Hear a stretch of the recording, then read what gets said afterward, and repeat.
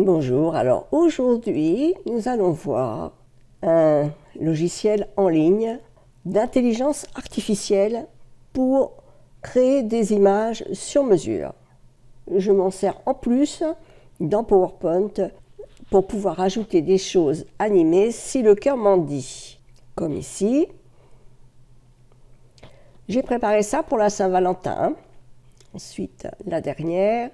J'aurais pu l'animer aussi, mais c'est surtout pour vous montrer euh, ce que l'on peut trouver sur cette intelligence artificielle qui vous fait vos images sur mesure. Alors on va voir ça et je vais tout vous expliquer.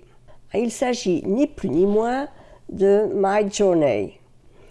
Alors pour vous inscrire, c'est simple, il faut aller ici sur My Journey, vous inscrire et une fois que vous êtes inscrit, il va vous demander de cliquer sur le lien qui se trouvera dans le mail que vous aurez donné et puis vous vous retrouverez sur cette interface, votre tableau de bord.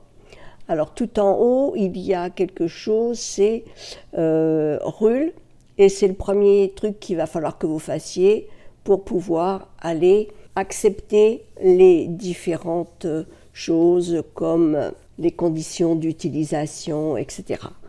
Donc voilà, ici on est dans le tableau de bord, vous prenez n'importe quel salon, moi je prends souvent celui-ci dans lequel je suis, et là vous allez pouvoir créer une image comme vous le souhaitez, avec autant de détails que vous en avez envie. Donc la première chose à faire, parce qu'il faut tout marquer en anglais, c'est déjà d'avoir une bonne idée de ce que l'on veut comme image, bien sûr.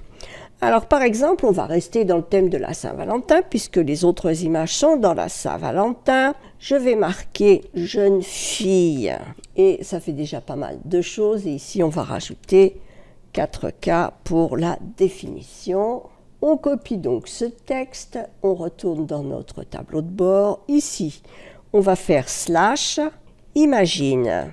Là, il y a ce prompt qui s'est affiché et CTRL V, on colle et on entre. Et là, il va y avoir, ici donc, c'est le dessin que j'ai demandé, voilà, qui est presque paru, et il va nous en, ici, on a le temps, là il en est à 31%, 31% 62, 93, et donc là, il va nous proposer quatre images que l'on va regarder en plus grand et qu'est-ce que l'on veut préparer? Qu'est-ce que l'on veut faire comme image? Elle est sympa cette image, hein. elles sont toutes les quatre sympas. Laquelle nous plaît le plus? Ça, y a beaucoup de bougies, mais c'est pas vraiment un anniversaire, donc euh, sans le gâteau, ce serait mieux. Là, il y a la cheminée, là, il y a aussi la cheminée, les bougies, elle prépare. Allez, on va prendre la 4. Donc, on clique n'importe où pour revenir à l'image. Où est notre image? Voilà, elle est là. Et donc, on va choisir la 4, U4, et on veut une autre version. Voilà. Alors, oui, voilà, elle nous fait une autre version ici. On en est à 55, ça va s'améliorer. Hop, notre image. Ça y est, elle est terminée. On va regarder en plus grand laquelle nous plaît le plus? Est-ce qu'on prend celle qui regarde en face ou celle qui regarde légèrement sur le côté? Celle-là, elle a l'air plus euh, préoccupée. Elle est en train de lire une recette ou je ne sais quoi et celle-là est en train de le faire. Donc, qu'est-ce qui est le mieux? J'aurais presque pu rajouter euh, sourire pour qu'il y ait un, sourire plus important. Allez, on va prendre encore la 4. Donc je clique n'importe où pour, retrouver à mes pour retomber dans mes images. Donc la 4, elle n'est pas mal. Et du coup, on va pouvoir faire plusieurs variations de celle-ci. Et donc ça va revenir en bas. On a la possibilité de refaire plusieurs variations à chaque fois pour euh, tomber sur celle qui nous plaît le plus. Là, on est à 55 ce n'est pas fini. Voilà, donc les variations. Bon, ben, je crois que je vais prendre euh, à nouveau, quoique ce pauvre me plaît beaucoup plus que celui-ci. Euh, on va prendre la 2 cette fois-ci. Allez, on va prendre la 2 et il va nous générer normalement la 2. C'est la 2 qui est un... Voilà.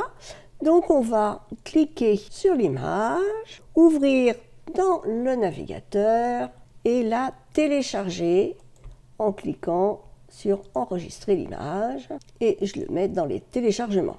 Je vais revenir moi à mon PowerPoint que j'avais fait. Je vais insérer une diapo vide et je vais aller chercher l'image. Je vais aller chercher l'image dans les téléchargements et donc elle est ici. Je l'insère. Comme je suis avec PowerPoint, il y a plusieurs possibilités. Vous voyez ici, on voit plus tellement ce qu'elle fait, là non plus, là non plus. Là, c'est un peu pareil. J'ai envie de garder cette image comme elle est. On peut peut-être un petit peu l'agrandir, mais très peu, donc ce n'est pas la peine. Et puis ici, sur la droite, vous pouvez insérer des modèles 3D déjà prêts à l'emploi où vous pouvez marquer par exemple cœur et chercher les cœurs.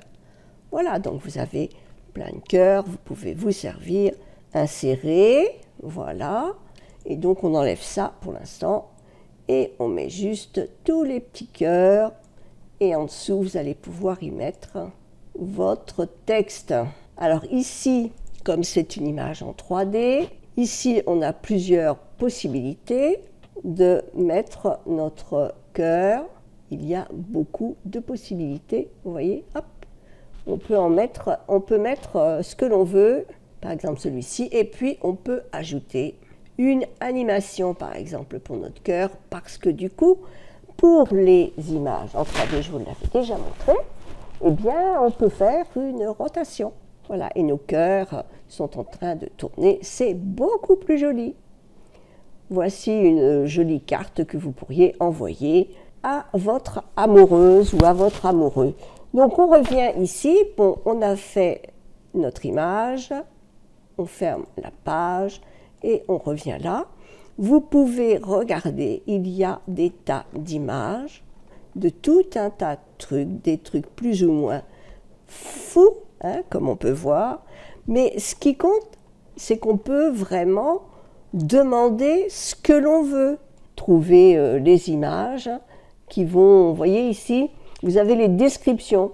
Et donc avec les descriptions, eh bien, euh, plus vous mettez de détails dans votre description, plus vous aurez une image qui correspondra à ce que vous voulez. Euh, simplement, il faut après prendre les modèles qui vous plaisent le plus et les améliorer. Il faut parfois plusieurs versions afin qu'elle soit vraiment comme vous la souhaitez. Moi, je ne sais pas si je, vous l'avez vu tout à l'heure, en première image, j'avais fait ce fond avec une maison sur euh, un espace un peu lunaire, avec des petites étoiles et la lune un peu cachée. Donc, c'est tout à fait ce que j'avais demandé. Et puis euh, là, du coup, le jeune homme euh, qui aime la belle qui se trouve dans ce manoir se demande bien s'il va rentrer ou pas. Voilà.